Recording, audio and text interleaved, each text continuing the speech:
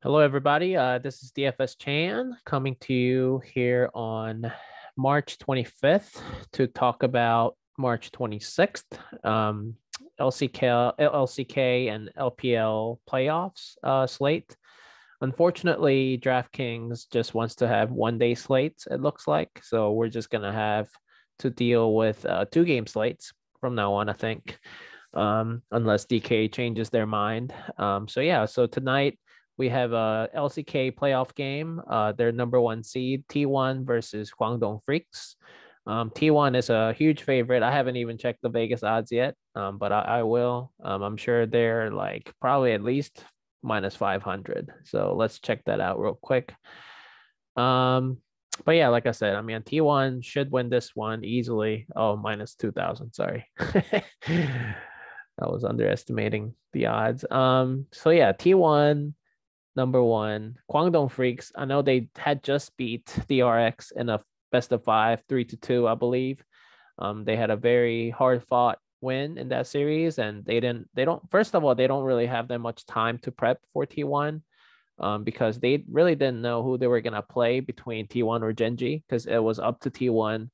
Um, to you know, T1 as the number one seed, they got to choose the winners of the losers bracket between Damwon Kia and KD uh, Kwangdong Freecs. And T1 after Kwangdong Freecs went over DRX, they chose KDF because they don't want to play Damwon Kia in the semifinals, I'm sure, um, with Canyon and Showmaker there. So yeah, I think T1 is playing against Kwangdong Freecs, who is much, much uh, inferior to T1 in my opinion in every single lane. I think the only chance that Kwangdong Freecs may have is in the top lane with Kiin over um, Zeus, Zeus. Um, but yeah, so this is the roster right here, as you can see on the screen. I mean, Zeus, Oner, Faker, Gumayusi, and Keria. And as you know, T1 went undefeated in this in the regular season. They were helped by um, some COVID cases and other teams, um, but at the end of the day, T1 played really, really well uh, throughout the entire split, and it's really, really hard to finish, difficult to finish um, undefeated like that um, throughout the entire split. So yeah, I mean they were they they're focused. They are playing really well, especially um, I think Keria, who won the MVP for the regular season in the support position. So I think in the bottom lane, I think um, Gumayusi and Keria is the bot probably the best bottom duo in the LCK, maybe not if not in the worlds. So I think they're gonna give a hard time uh, against Kwangdong Freecs, Teddy and Hoit. I know Teddy and Hoit have been playing pretty well too, but I just feel like at the end of the day, Keria is, is a different animal. He's on a different level right now. Um, so I like him that advantage in the bottom lane. And like I said, I think Kiin in the top lane for Kwangdong Freecs is the only chance I think that they can win through, in my opinion. I think, but then I think Zeus play has been playing really, really well the last couple weeks for T1.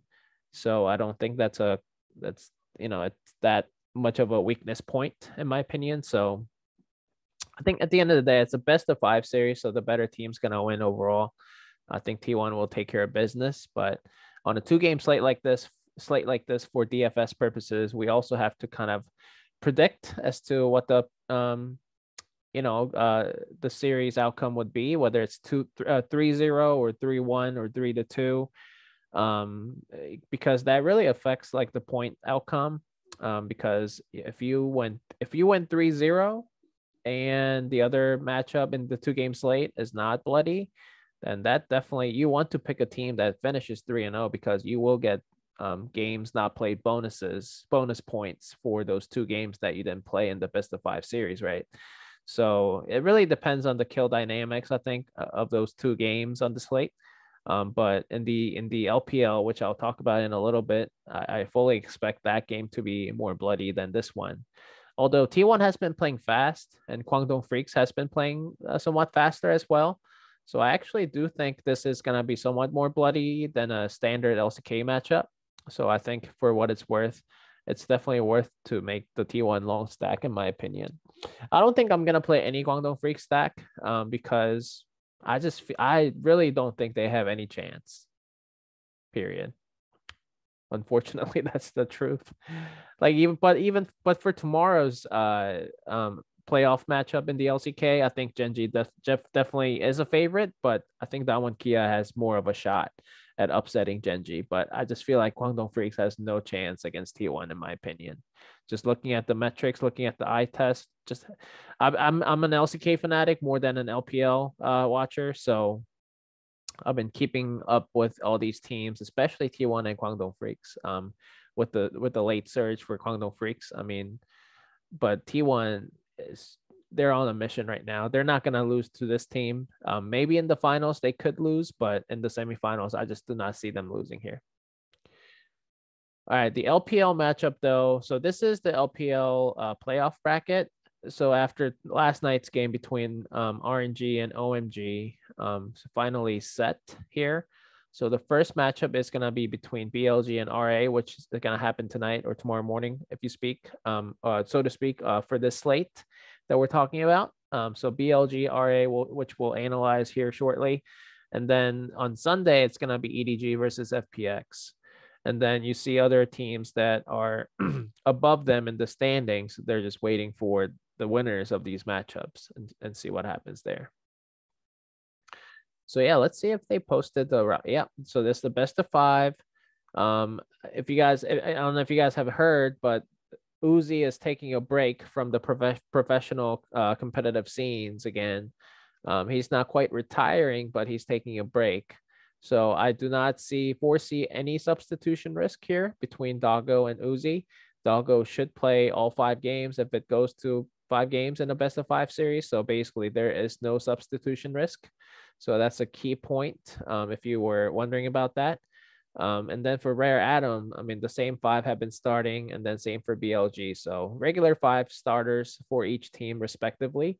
Um, so let's dive into who I think will win. So uh, just going going through the individual matchups, though, let's go from you know top to bottom. Breathe against Cube. I think Breathe has been okay. Um, he was he's not the same type of uh, player he he used to be. I think last year and two years ago. Cube has been playing really really well, so I think it's more of a wash. But if not, favor Cube in my opinion. So that goes a point for our Rare Atom.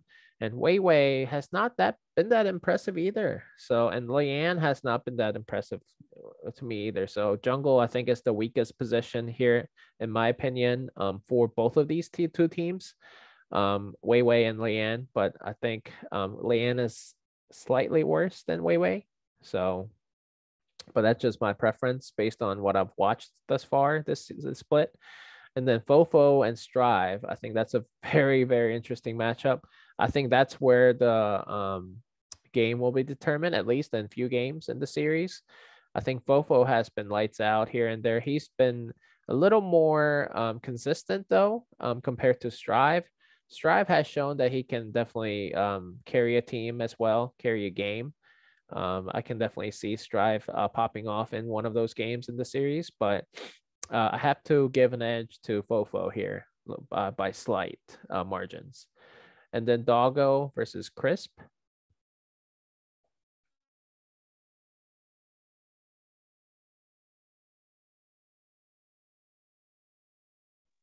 Sorry, I had to sneeze. Um, Doggo and Crisp versus iBoy and Yuyanjia. I think Doggo is actually pretty.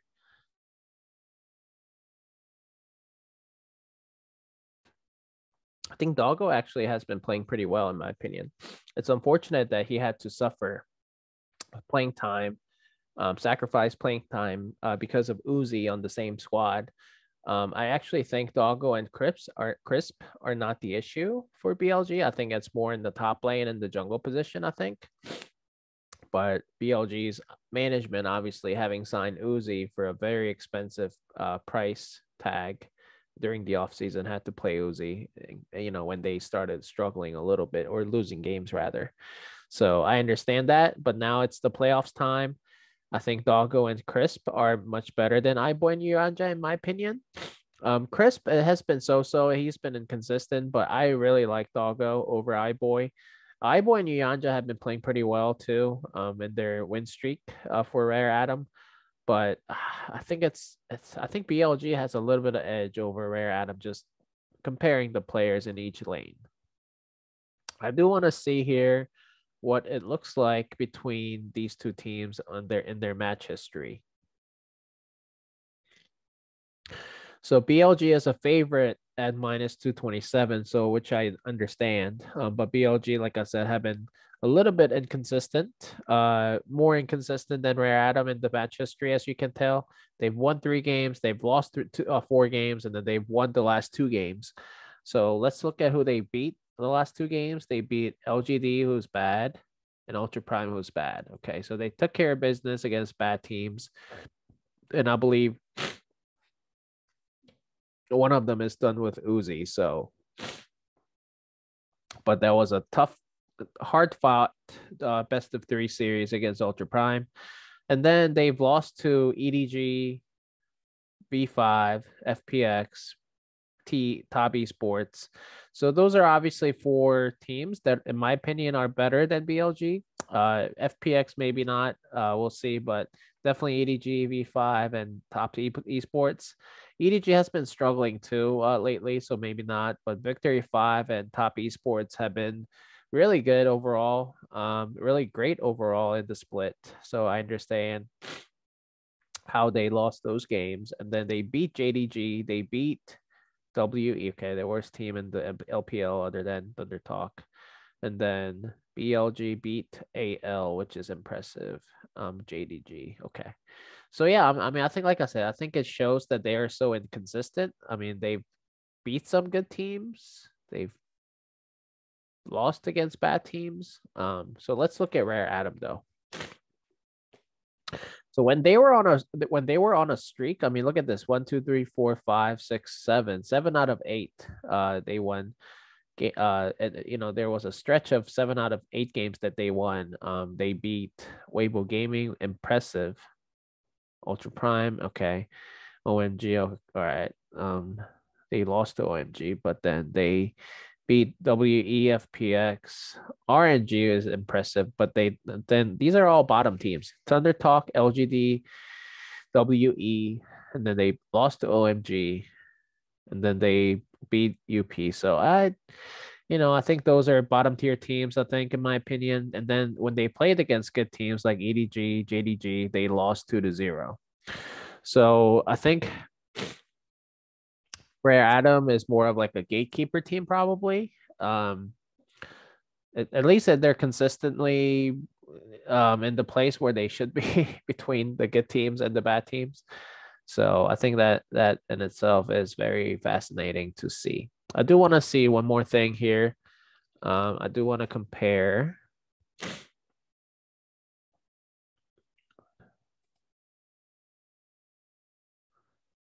Maybe the jungle control percentage to see um, how they have been playing more recently. So six and nine and seven and four. Rare Atom has a better uh, match history on this latest patch. And Rare Atom has been lights out in jungle and lane in their wins, obviously. So let's look at the last two patches ago um, 16 and 8, 16 and 15. So somewhat similar. And jungle, Rare Atom has been playing well too. So yeah, I think maybe Leyan has been playing better than I gave him credit for. Um, Rare Atom has superior stats. I do want to see the mid lane matchup here.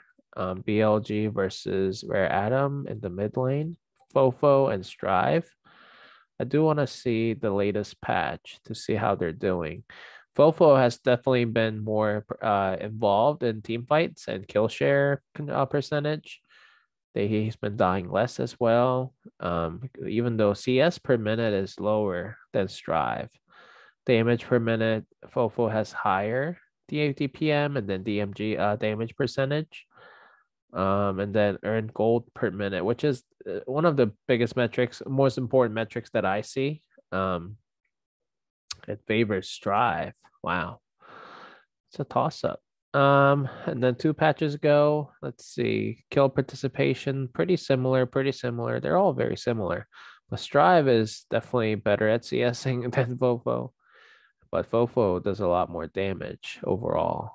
But then earned gold per minute, it's about the same. But actually, Strive is higher. So yeah, that's that's very interesting because I was gonna I was leaning BLG, but then now I'm like back at square one, uh, square square one, square zero, uh, right in the middle, um, between these two teams. Um, I think that's very interesting.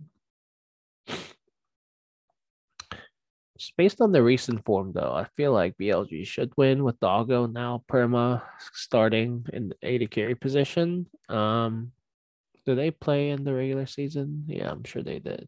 So I do want to see that how that happened. BLG won two to zero. Did Doggo start? He did. Okay. That was game two, game one. So yeah, I mean, first of all, before we choose a predict prediction, uh, make a prediction on the winner, look at the score here 15 to 3 and then 10 to 7. so, yeah, I mean, it, you would think like a regular uh, LPL game would outscore the regular LCK game, but tonight I think it might be a little different. I mean, T1 and Kwangdong Freecs, like I said earlier, it could turn out to be a bloodbath. I mean, not a bloodbath, but it could turn out to be a higher CKPM matchup than a standard LCK matchup.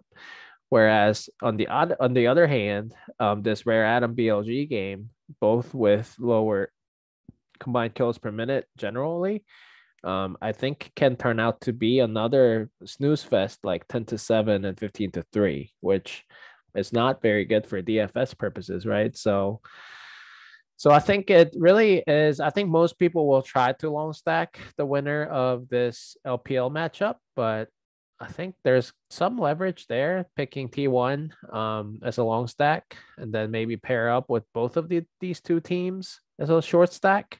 I can definitely see that happening, especially when T1 is going to win through three to zero or three to one, at least get a gameplay bonus, games not play bonus. Whereas Maybe this game will go to all game, you know, all five games. Um, but at the end of the day, it looks like Doggo played really well. Like I said, um, boy did not play well. And then here, let's see what uh, the difference was here. Um, Doggo still played well.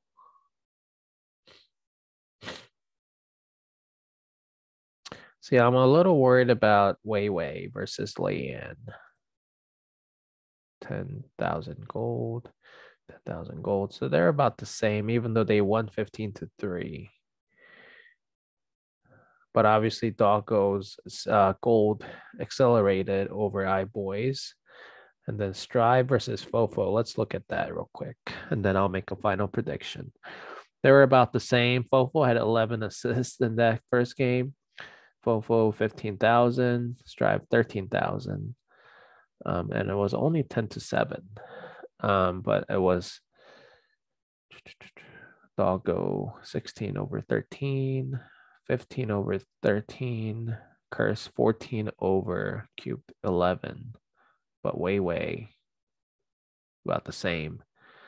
As long as Weiwei plays all right, I mean, I think as long as he doesn't feed, Leyan, which I mean I can have I can see that happening. Um I think BLG should win. Um BLG is such a frustrating team though. Like they have a good squad on the on the paper, but they just been so inconsistent, right? So I think I can definitely see Doggo carry a game or two in the series but then I can definitely see uh what's what's the jungle Weiwei and breathe blow a game or two in the series um, by making stupid mistakes um due to their inconsistency um but i do think having doggo not worry about uzi in in, in this on his back i think that will help doggo play better and rare Atom, in my opinion goes they go as iBoy goes um, I do want to see one more thing. I just think it's a bad matchup um, for Rare Atom. I think iBoy and Yuyanjia have to get going for Rare Atom to win. Um, so as long as Breathe and Weiwei do okay, I think I think Fofo and the so the bottom half of the map for BLG I think should take care of business. So at the end of the day, even though the um, metrics supported Rare Atom to uh, be better than BLG's, I still I, I'm still thinking that BLG is gonna end up winning this matchup. But like I said, uh, since I'm not playing any Kwangdong Freecs for GPP, I'm definitely gonna have a share of both of these t- two teams, um, which can turn out to be bloody. But then I, I think the most of the metrics are showing me that um, that the game, probably most of the games, three maybe at least three out of the five games, if they go to all five games, will be lower in kills than a standard LPL matchup. So I think that's very important to remember between uh, LCK matchup and the LPL matchup to make which one to make a make a long stack versus short stack. So yeah, just let me know if you guys have any additional questions on that. But given all of that, I, I do think BLG is going to win and T1 is going to win in their respective matchups. So I think I'm going to go BLG three to two and then T1 three to zero. So I'll write that down so that we have it on the records. T1 wins 3 to 0. BLG wins 3 to 2. And uh, T1 match will be more bloody than a standard LCK matchup. BLG match will be less bloody than a standard LPL matchup. So yeah, so I think those are interesting predictions that I'm making for what it's worth. Um, but if you guys have any questions or just want to talk league, let me know. And if you, uh, thanks for watching. If you like the video, hit the like button below. It would mean a lot to us. Um, and, and also hit the subscribe button if you're interested in watching videos about other sports. And given all of that, um, hope you guys have fun playing tonight. And if you guys um, have any other questions, let me know. Thank you. Bye bye.